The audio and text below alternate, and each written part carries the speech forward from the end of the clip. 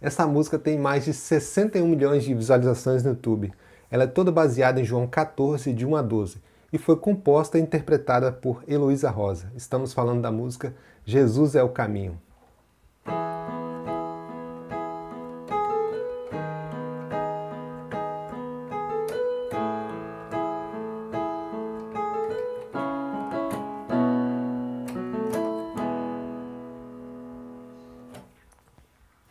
Olá pessoal, meu nome é Daniel José Sobrinho, sou músico e compositor gospel.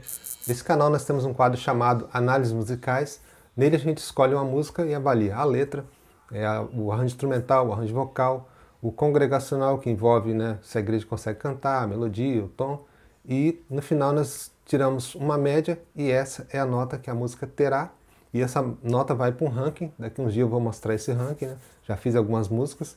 Aí eu vou mostrar a nota de cada um, cada um ali que eu julguei né, vai ter uma nota e quem tiver a nota maior vai estar tá, né, no topo aí do ranking. E hoje nós vamos analisar a música Jesus é o Caminho, interpretada aí por Heloísa Rosa, uma música muito bonita.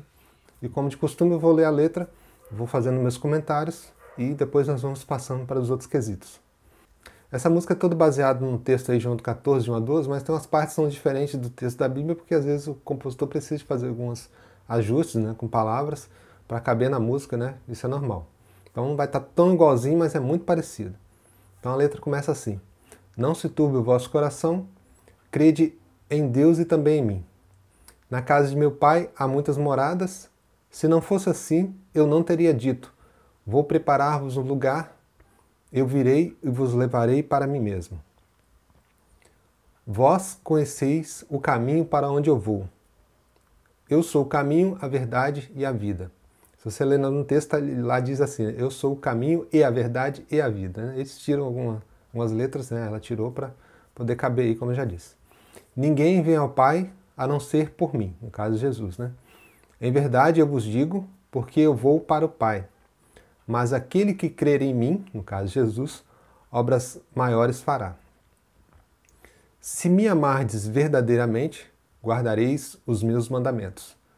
Eu rogarei ao Pai e, eles, e ele vos dará o Consolador, no caso aqui o Espírito Santo.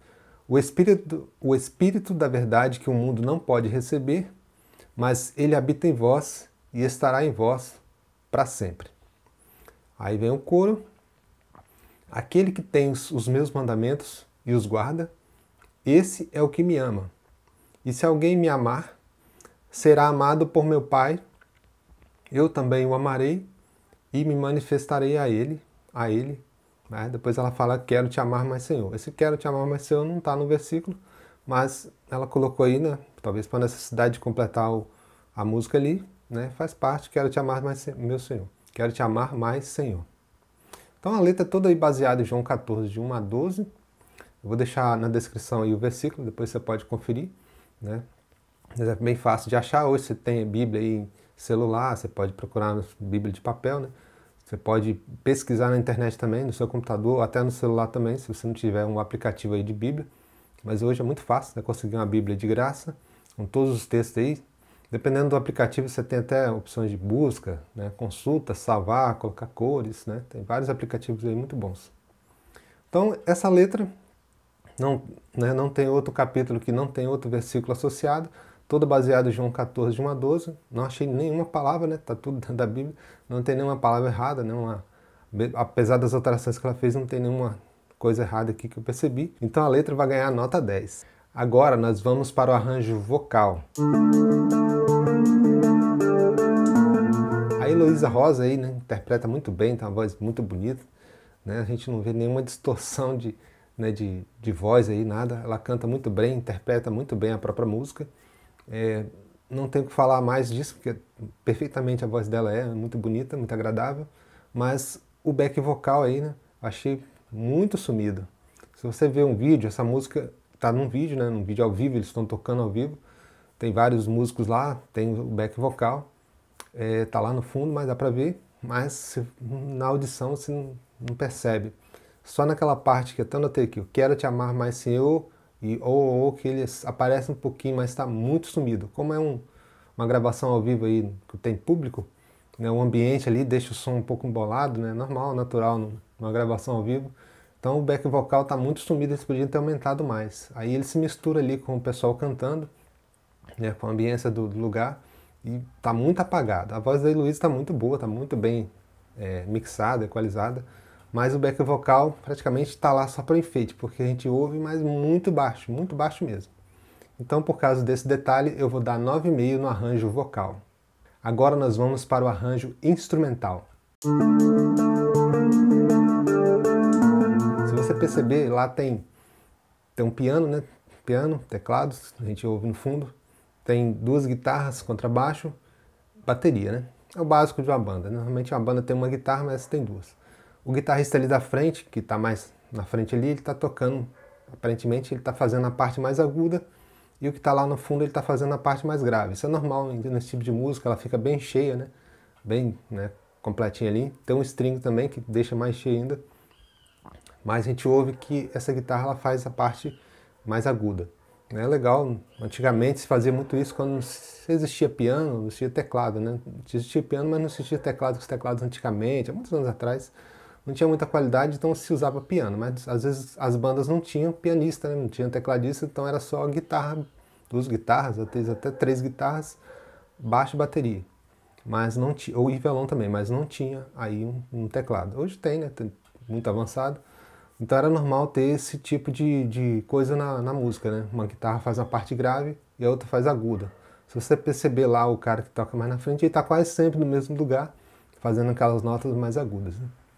E aí no instrumental não, não tem nenhum solo, só tem ali depois que ela canta a primeira parte, né? tem um intervalozinho que aí entra o instrumental, né? mas tocando básico, né? não tem solo mesmo, então não tem solo, né? não tem instrumental com solo.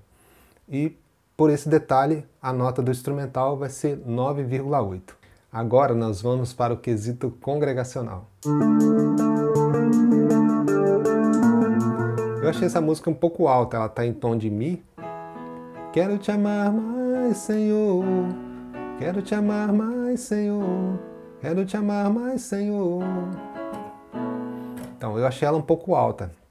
Ela poderia ter ficado ou meio tom ou um tom abaixo né? Ficaria muito bom para cantar. Eu estou achando alto, a igreja normalmente não vai conseguir cantar notas altas. Quando você faz uma música, né, compõe a música, você quer que as pessoas cantem, né? Normalmente a maioria das pessoas vão cantar no tom. E fica aí um pouco difícil para cantar nesse tom. Poderia ter ficado ou meio tom ou um tom. E por esse detalhe, o congregacional terá a nota de 9,5. Antes de dar a média das notas, vou falar um pouco sobre a música. É uma música muito fácil de tocar, né? Muito facinho mesmo. O tom, para quem toca, né? Tipo se fosse um violão ou até guitarra, o tom é muito, muito bom, né? Não é bemol, não é sustenido, então tá num tom ótimo para cantar. A música no geral é muito fácil, ela tem facilidade de letra, né? Ela tem facilidade de melodia, instrumental muito fácil aí também de tocar, não tem muitas dificuldades, para uma banda iniciante vai ser fácil. E a letra aí baseada toda em João 14, de 1 a 12, né? Se você não tiver a letra da música, você pode até quase que cantar direto na Bíblia ali, que tá muito, a letra está muito parecida com o que está na Bíblia. Algumas alterações aqui e ali é normal ter, mas no geral está muito próximo ao que está na Bíblia. Então é uma música muito bonita, né? né? agradável de cantar, a melodia fácil de decorar e né, normalmente quando se compõe, é, às vezes o músico aí passa por problema de problema de a, tamanho da letra com o tamanho da música. Às vezes você tem que falar uma letra muito rápida e essa não tem nenhuma parte então a melodia em si é muito facinho de cantar com a letra ali. Então a música é muito boa. E a média que a música teve, né, depois de todos os cálculos, foi 9,7. Uma ótima nota, uma ótima música. Então é isso aí, pessoal. O vídeo vai ficando por aqui. Se você não é inscrito no canal, clica aí no botão inscrever-se, marca aquele sininho. Quando você faz isso, o YouTube te avisa. Eu também posto o áudio desse vídeo aqui no podcast. O link vai estar na descrição.